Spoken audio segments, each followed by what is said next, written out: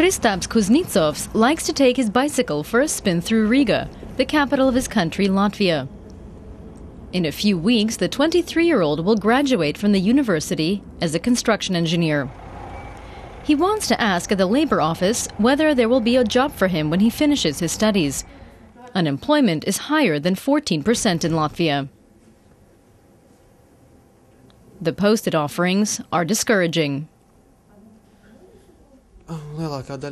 These are mostly service jobs in the restaurant business as waiters or working at a counter. They pay the equivalent of 300 euros a month. There are jobs in technical professions, one for a machine mechanic and one for an excavator operator, for 700 euros a month. Right next door is the placement officer for employment abroad. A Latvian construction engineer can work legally anywhere in the European Union. The official statistic is that 7 to 8,000 people leave Latvia each year. With his professional qualifications, Kristaps Kuznetsovs could work in Germany. The, the main thing, the main requirement is uh, German language and good German. Uh, even uh, even if uh, if you want to work uh, in agriculture sector, um, so if you if you don't speak German, it's almost impossible to find a job in Germany. Kristaps does not speak German, so first he takes a break in the cathedral square.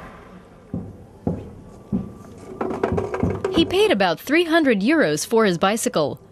That's a month's earnings for many people here. He earned the money as a construction foreman in Ireland. But now he'd like to stay in Latvia. The economic situation will just keep deteriorating if all the young people leave the country. And our pension system will soon collapse if the young people no longer pay into the system. Who will pay for the pensions?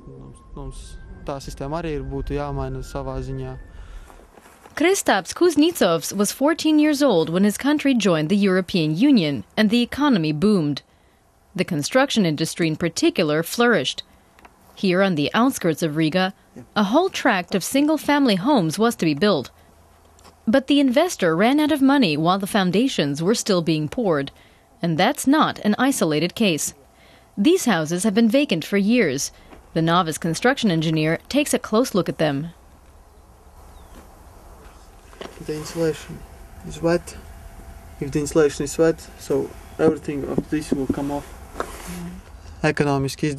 When this was built in 2006 and 2007, the economy was booming. The need was to get everything built fast. Quality suffered as a result. Back in Riga, Kristaps Kuznetsovs pays a visit to an architecture firm. He often worked here as a student. The boss knows him. The firm has several projects in planning. A Scandinavian investor wants to build three new districts in the city. The head of the firm hopes construction will soon flourish again.